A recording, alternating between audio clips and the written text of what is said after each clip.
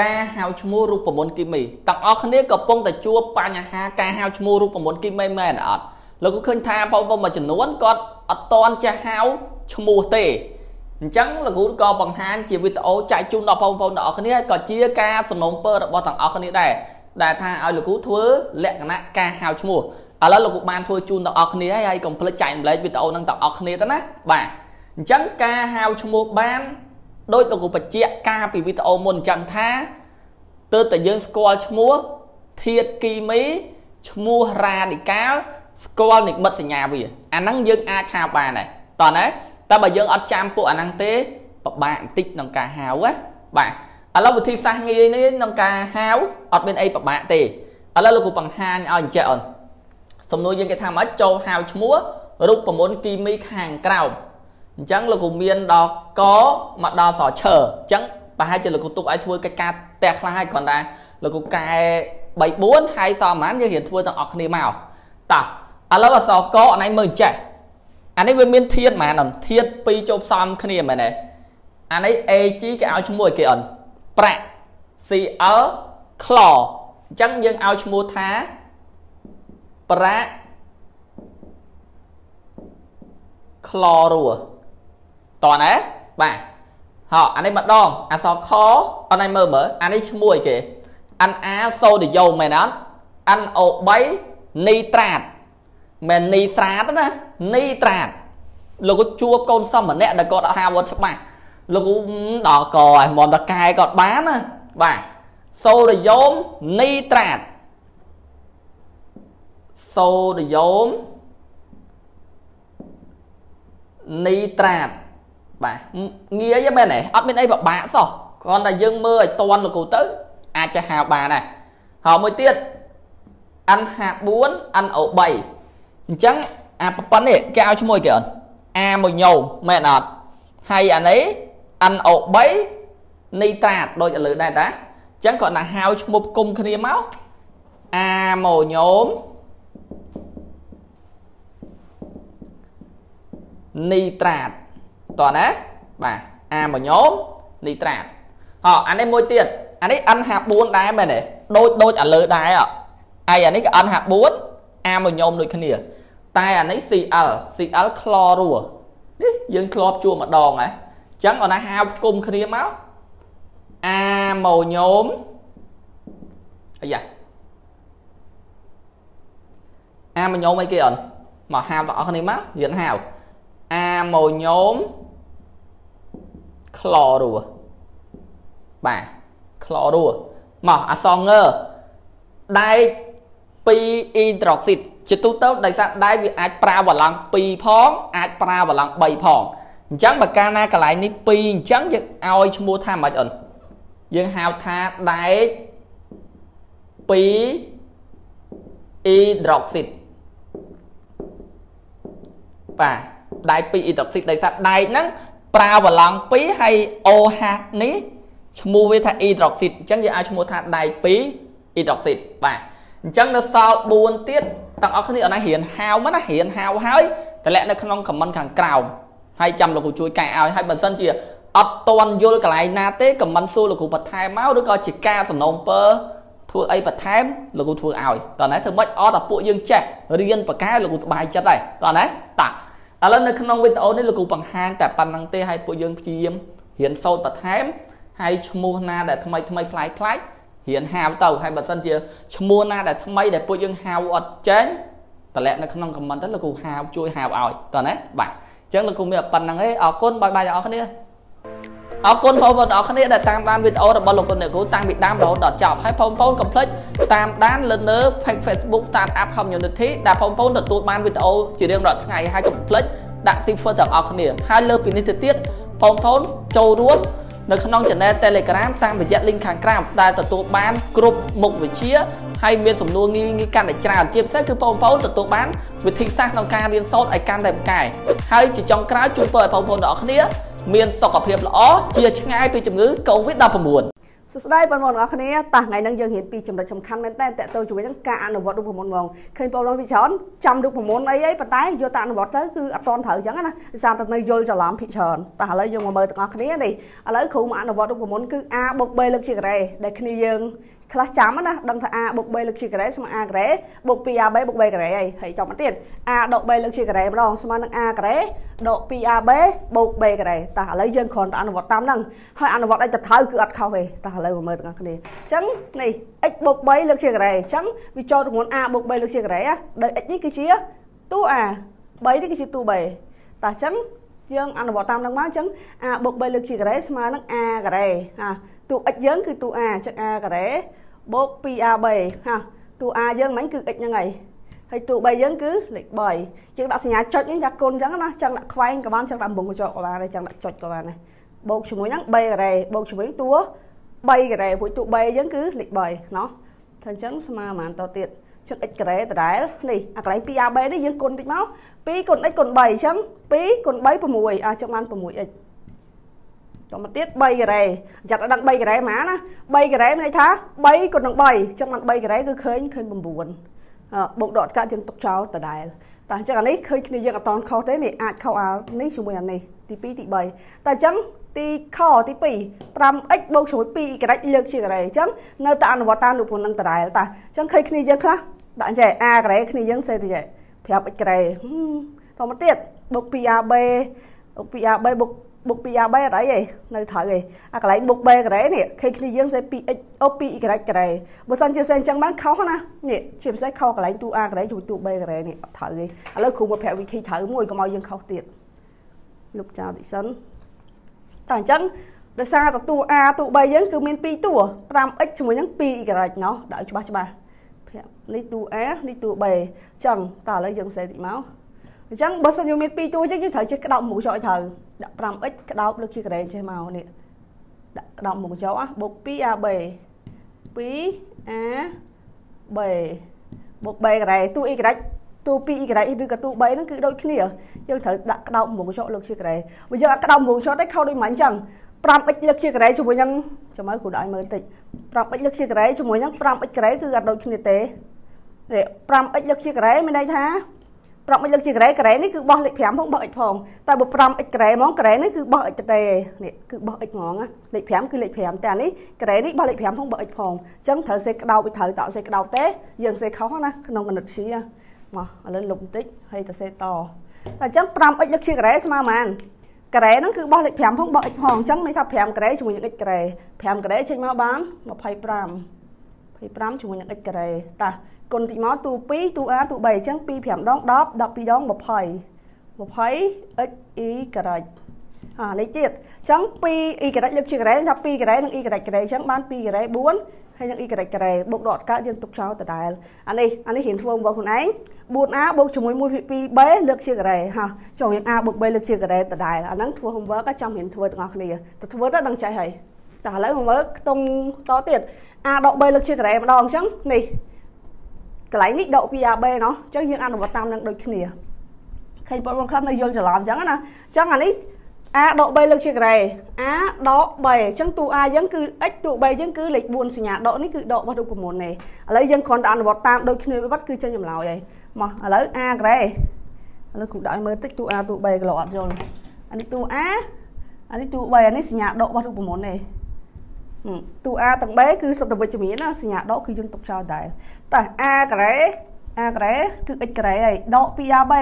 អាលេខ2សេលេខ2មកដែរមកហើយតួ A យើងគឺគឺ x ហើយតួ B យើងគឺលេខ4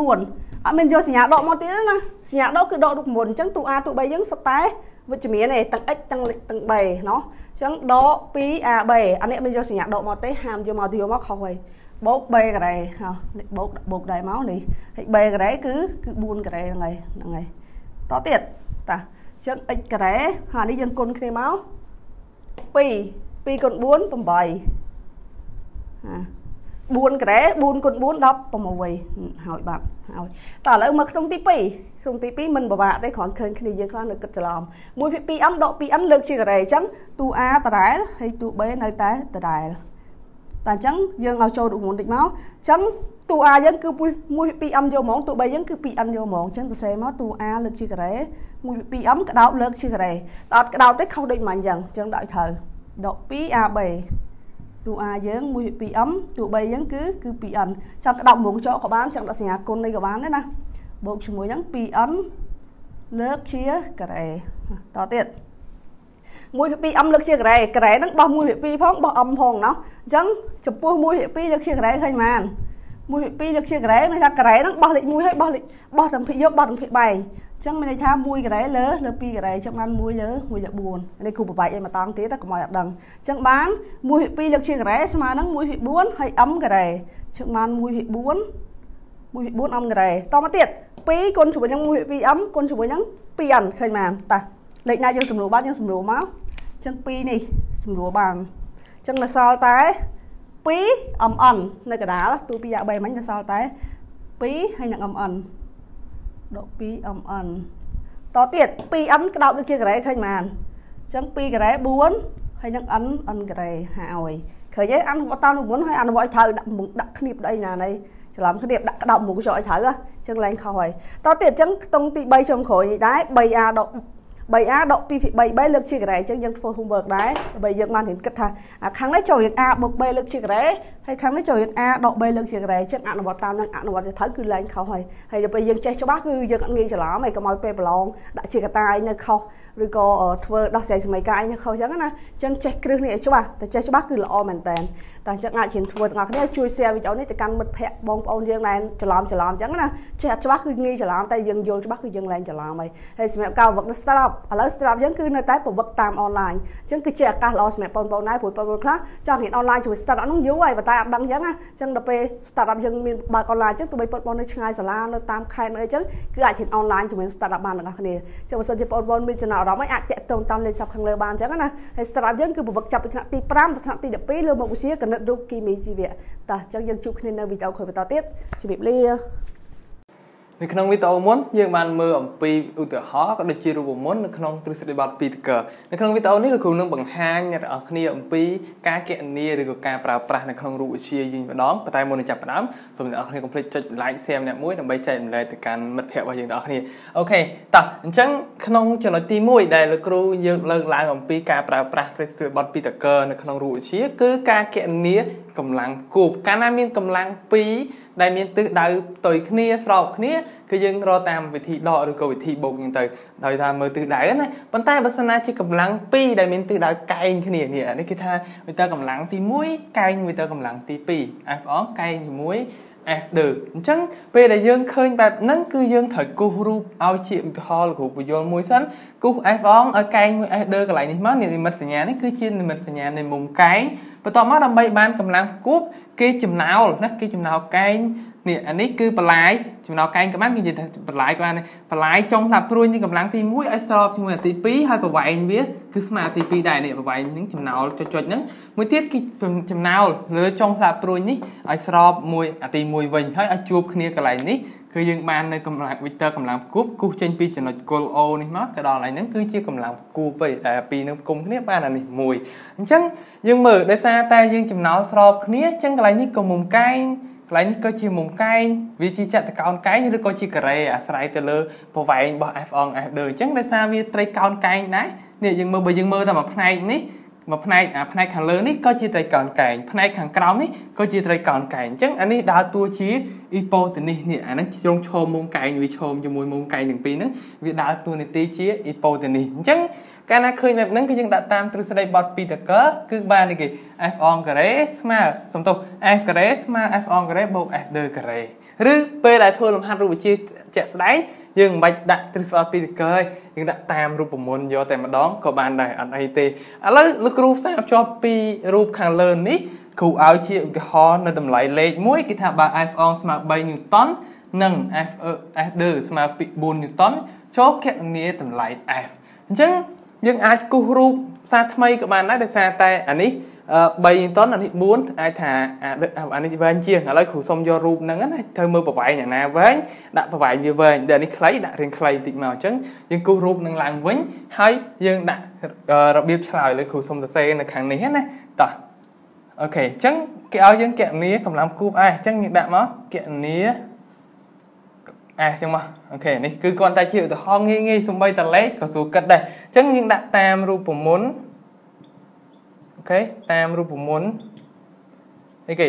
កម្លាំងគូប s ស្មើនេះដាក់ការ៉េមកស្មើ f អងការ៉េបូក f ដឺការ៉េតែយើងចង់បាន s អត់ជាងយើងទាញរតម្លៃ s មកច្រករឹសការ៉េនៃ f អងការ៉េបូក f ដឺការ៉េប៉នេះមកហើយយើងដាក់តម្លៃលេខចូលដោយ f អងស្មើប៉ុន្មានស្មើ3ញូតុនហើយ f ដឺស្មើ4ញូតុនត្រូវຂະຫນាតហើយអញ្ចឹងយើងអាចជំនួសលេខចូលទាញរកតម្លៃ f ទៅស្មើរឹសការ៉េនៃ3ការ៉េបូក4ការ៉េ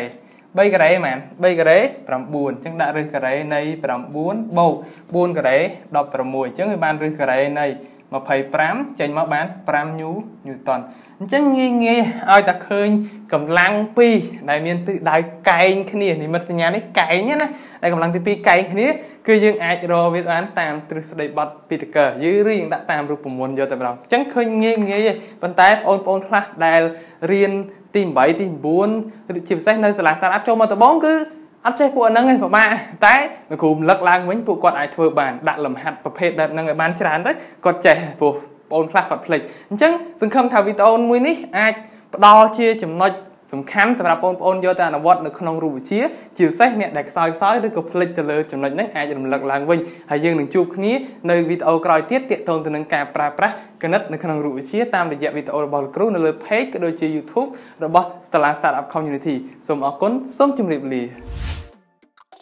ហើយបើបងប្អូនចង់បានវីដេអូថ្មីថ្មីកុំភ្លេចចូលមើលនៅក្នុង playlist របស់លោកគ្រូនេះខាងស្ដាំនេះហើយបើមិនទាន់ចុច Subscribe កុំភ្លេចចុច Subscribe និងចុចលើរូបកណ្ដឹងដើម្បីទទួលបានវីដេអូមុនគេ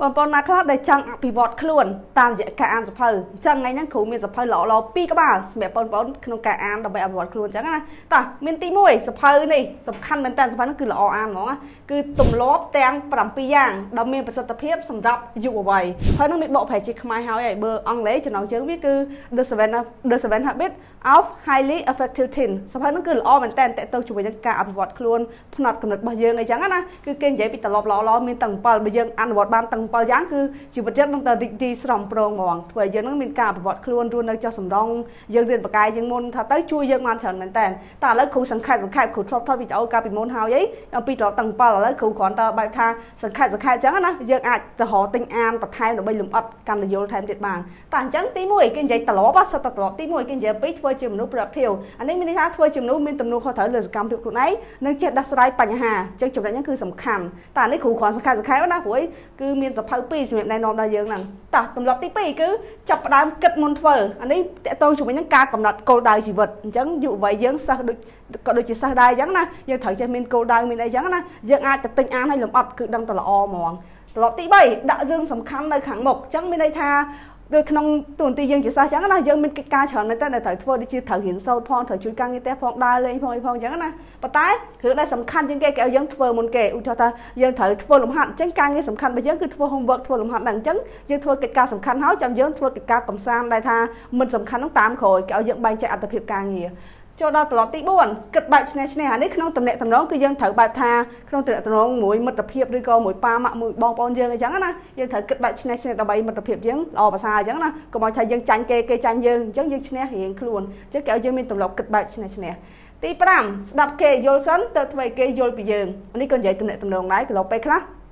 ក្នុងការផ្សាយតាក់ទងគ្នាយើងអត់យល់ពីគ្នាអញ្ចឹងណាយើងអត់ដែរស្ដាប់ភាគីម្ខាងទៀតយើងចូលចិត្តនិយាយច្រើនតែយើងអត់ដែរស្ដាប់ពីហេតុផលគេអញ្ចឹងធ្វើទៅទៅយើងអត់ល្អទេអញ្ចឹងគឺត្រឡប់ហ្នឹងគឺគេឲ្យយើងនឹងស្ដាប់ព្យាស្ដាប់ភាគីម្ខាងទៀតដៃគូសន្ទនារបស់យើងអញ្ចឹងណាស្ដាប់គេយល់ថាគេចង់បានអីគេមានរឿងបែបបាច់អញ្ចឹងទៅដល់ពេលយើងយល់ពីគេហើយតមកទៀតចាំយើងនិយាយរឿងយើងតើគេយល់វិញម្ដងអញ្ចឹងធ្វើទំនាក់ទំនងហ្នឹងគឺយើងយល់ពីគ្នាទៅវិញទៅមកចូលដល់ទម្លាប់ទី6គឺសាមគ្គីភាពអញ្ចឹងមានន័យថាដើម្បីធ្វើកិច្ចការធំបានគឺយើងត្រូវចេះសាមគ្គីគ្នាអញ្ចឹងណាធ្វើសាមគ្គីគ្នាដើម្បីធ្វើកិច្ចការធំសម្រេចទៅជាមួយគ្នាត្រឡប់ទី7រឹតតែសំខាន់ទៀតគឺធ្វើខ្លួនឲ្យកាន់តែមោះមុតឡើងអញ្ចឹងត្រឡប់ទី7នេះគឺនិយាយតទៅជាមួយនឹងការអភិវឌ្ឍខ្លួនអញ្ចឹងគេឲ្យយើងអភិវឌ្ឍខ្លួនដូចជាផាំងរៀន ជជំនាញថ្មីថ្មីបន្ថែមអានសភៅបន្ថែមហើយនឹងដើរលំហែដើរលំហែខ្លួនហាត់ប្រាណអីចឹងណាអញ្ចឹងធ្វើខ្លួនយើងឲ្យកាន់តែមូសមុតឲ្យកាន់តែរីកចម្រើនអភិវឌ្ឍកាយកុនខ្លួននិយាយថាយើងអភិវឌ្ឍខ្លួនឲ្យបានល្អរហូតចឹងណាយើងកុំនៅត្រឹងមកកន្លែងយើងត្រូវអានសភៅបន្ថែមរៀនសូត្រចំណេះដឹងយើងដើរកំសាន្តដើម្បីសុខភាពយើងល្អអីចឹងទៅអញ្ចឹងចំណុចហ្នឹងគឺត្រឡប់ទាំង7នៅពេលយើងធ្វើបានណា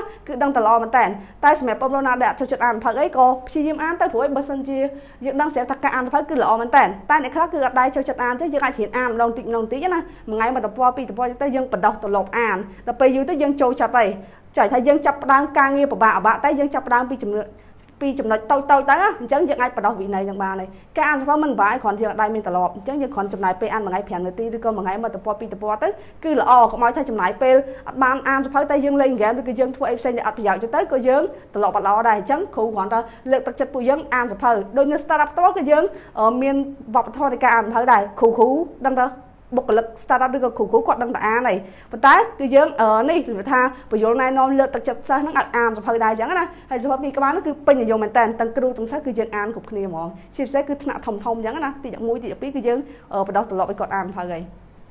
តាមួយទៀតសភៅទី2នេះក៏ល្អខ្លាំងដែរគឺពេលព្រឹកដ៏អស្ចារ្យអង់គ្លេសគេហៅថា The Miracle Morning អញ្ចឹងសភៅហ្នឹងចំណុចដែលគ្រូចាប់អារម្មណ៍ជាងគេបំផុតគឺពាក្យមួយឃ្លាគេនិយាយថាចេះវាកម្រខ្លាំងណាស់ដែលកម្រិតនៃភាពជោគជ័យរបស់អ្នក ឡើងខ្ពស់ជាងកម្រិតនៃការអភិវឌ្ឍខ្លួនរបស់អ្នកអញ្ចឹងមានន័យថាបើសិនយើងចង់ជោគជ័យផ្នែកមួយតើតើយើងអភិវឌ្ឍសមត្ថភាពឲ្យដល់ហ្នឹងសិនឧទាហរណ៍ជាក់ស្ដែងមួយយើងជាសិស្សបើចង់បើយើងចង់រៀនបានលេខ1ចង់ប្រឡងបានអាហារគាត់ទៅក្រៅប្រទេសចង់ប្រឡងបានលទ្ធផលល្អនៅប្រទេសអេប្រទេសអីចឹងទៅបើយើងអត់មានសមត្ថភាពគឺយើងអត់អាចយកបានទេអញ្ចឹងដំបូងផុតគឺយើងត្រូវតែអភិវឌ្ឍសមត្ថភាពឲ្យដល់កម្រិតមួយសិនបើយើងមានសមត្ថភាពគឺយើងភាពជោគជ័យគឺមករកយើងតាមក្រោយឯងអញ្ចឹងដំបូងផុតគឺយើងត្រូវតែអភិវឌ្ឍសមត្ថភាពខ្លួនអញ្ចឹងសភៅពេលព្រឹកដ៏អស្ចារ្យនេះគឺលើកទឹកចិត្តខ្លាំងណាស់ហើយគេនិយាយតាក់ទងជាមួយនឹង live server តាក់ទងមួយរូបមន្តសង្គ្រោះជីវិតហើយមានពាក្យកាត់គេអញ្ចឹងណា S នេះមកពាក្យ silent មានថាស្ងប់ស្ងាត់គឺយើងត្រូវធ្វើសមាធិយើងត្រូវមានពេលនៅជាមួយខ្លួនឯងអញ្ចឹងណាព្រោះពេលខ្លះយើងលេងទូរស័ព្ទច្រើនពេកយើងនៅមួយមនុស្សច្រើនពេកតែយើងអត់មានពេលសម្រាប់នៅជាមួយខ្លួនឯងយើងស្ងប់ស្ងាត់យើងសមាធិអីចឹងណាអញ្ចឹងពាក្យនេះគឺសុទ្ធតែមានអត្ថន័យរបស់វាដូច A នេះមានថា affirmation តកតងជាមួយនឹងការទន្ទិញពាក្យបដកម្មយើងទិញពាក្យណាដែលល្អល្អសម្រាប់យើងអញ្ចឹងឧទាហរណ៍ថា ពាក្យមួយឃ្លាដែលយើងចូលចិត្តហើយវាជាការលើកទឹកចិត្តយើងយើងអាចទិញវារងថ្ងៃយើងទៅថាខ្ញុំជាមនុស្សបកែខ្ញុំគឺ I am the greatest ណាអីចឹងថាពាក្យដែលជួយលើកទឹកចិត្តយើងអាហ្នឹងគេហៅថាទន្ទិញពាក្យបរិកម្មទិញរាល់ថ្ងៃរហូតដល់យើងជឿលើពាក្យហ្នឹងអញ្ចឹងណាពាក្យហ្នឹងគឺអាចថាតកតងជាមួយគោលដៅរបស់យើងអីក៏បានដែរអានេះគ្រូគ្រាន់តែនិយាយកាត់កាត់ទៅណាអាចថាទិញសភៅយកមកមើលបន្ថែមទៀតហើយសភៅគឺមានលក់នៅគ្រប់កន្លែងហ្នឹងតាមបណ្ដាគារតាមទីផ្សារតាមហាងសភៅគឺមានលក់ទាំងអស់ អសវិញគឺ visualization និយាយថាតកតងមួយការសម័យសម័យឧទាហរណ៍យើងចង់បានអីមួយគឺយើងបង្កើតជារូបភាពអញ្ចឹងណាយើងអាចបិទរូបភាពក៏បានដែរឧទាហរណ៍ថាយើងចង់អីគេចង់រៀនបានលេខ1អញ្ចឹងទៅយើងបិទរូបភាពអញ្ចឹងទៅឬក៏យើងចង់បាននិទេសអីយើងបិទរូបភាពអញ្ចឹងទៅចង់ទៅលេងក្រៅប្រទេសយើងបិទរូបភាពអញ្ចឹងទៅបើតើយើងឃើញរងថ្ងៃយើងបង្កើតអារម្មណ៍ថាយើងដឹងតែបានទៅលេងហ្នឹងអញ្ចឹងណាអានេះគ្រូគ្រាន់និយាយកាត់កាត់ទេអីនេះតកតងជាមួយនឹង exercise ការហាត់ប្រាណគេឲ្យយើងហាត់ប្រាណឲ្យយើងមានសុខភាពល្អហើយអតកតងជាមួយនឹង reading តកតងជាមួយនឹងការអាន សភៅហ្នឹងក៏គេឲ្យតម្លៃលើការអានការរៀនសូត្រដែរឃើញមើលនេះចាថាឲ្យតម្លៃលើការអភិវឌ្ឍខ្លួនខ្លាំងមែនតើ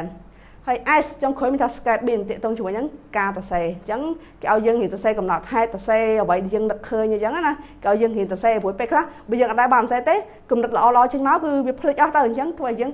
យើងរៀនសរសេររៀនកត់ត្រាអីទៅគឺល្អមែនតើតែអញ្ចឹងបងប្អូនអាច អាចថាទៅទិញផៅនឹងអានទៅចាថាយើងបង្កើតត្រឡប់អានអញ្ចឹងណាយើងអានម្ដងតិចម្ដងតិចយើងបាច់អានម្ដងមួយក្បាលទេអានថាយើងអត់ដែរអានសោះអានមួយថ្ងៃតែ5នាទីទៅចាប់ផ្ដើមអានតិចតិចទៅជក់អីហើយចំណុចហ្នឹងគឺអានទៅល្អព្យាយាមអានណាព្រោះអីមានបកជាភាសាខ្មែរហើយក៏អានងាយយល់ដែរអញ្ចឹងថ្ងៃហ្នឹងគ្រូមានមានសភៅ2ហ្នឹងសម្រាប់ចែកម្លែកឲ្យបងប្អូនអាច ចែកវីដេអូនេះទៅកាន់គ្នាយើងដែរទៅសម្រាប់អ្នកដែលចង់អានសភៅអភិវឌ្ឍខ្លួនអញ្ចឹងណាយើងហ៊ានអានពីវិទ្យាល័យឲ្យហើយក៏ល្អដែរហើយសភៅនេះមិនមែនត្រូវទៅសម្រាប់សិស្សទេយុវវ័យសិស្សនិស្សិតអ្នកធ្វើការយុវជននេះគឺត្រូវច្រើនគ្នាអញ្ចឹងយើងជួបគ្នានៅវីដេអូក្រោយបន្តទៀតជំរាបលាដំណឹងល្អសម្រាប់បងប្អូនទាំងអស់គ្នាពេលនេះសាលា Work Startup មានទទួលវឹកសិស្សតាមអនឡាញ ហើយសាលា Work Startup យើងគឺទទួលវឹកសិស្សចាប់ពីថ្នាក់ទី5ដល់ថ្នាក់ទី12លើមុខវិជ្ជាគណិតរូបគីមីជីវៈហើយពេលនេះគឺជាឱកាសល្អសម្រាប់បងប្អូនទោះបីជាបងប្អូននៅឆ្ងាយសាលាឬក៏នៅតាមខេត្តផ្សេងៗក៏ចោះឈ្មោះចូលរៀនបានទាំងអស់គ្នាដែរអញ្ចឹងប្រញាប់ចោះឈ្មោះចូលរៀនទាំងអស់គ្នាណា